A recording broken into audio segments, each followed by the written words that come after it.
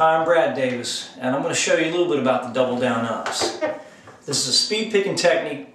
Now, as I hit the fourth string, I'm going to rest on the third, okay, and lift off that fourth to make the note short. Boo-da, boo-da.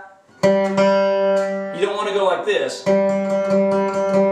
Of course, you can use that for effect at certain times, but... So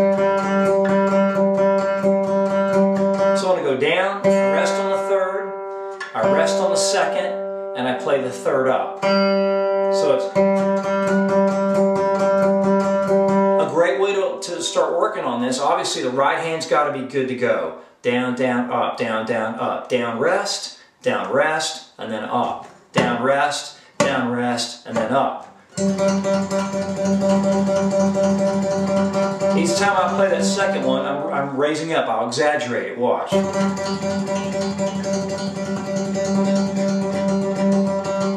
Get the idea, okay. So what you do is you rotate this between all four fingers and we're going to rotate the pattern.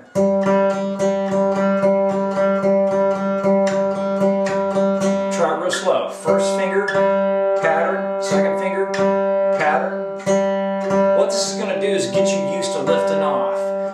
The notes have got to be short and if they're not short it's going to be overlaying notes that are going to ring over to other notes it's going to cause a little bit of a chaos with the tone.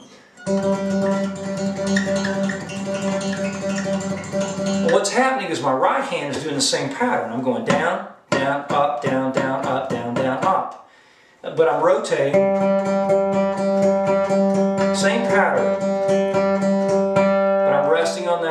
See that B string moving a little bit. That's the secret of the double down ups. Give it a try. Make sure you get the right hand down pat before you start on the left. Have fun.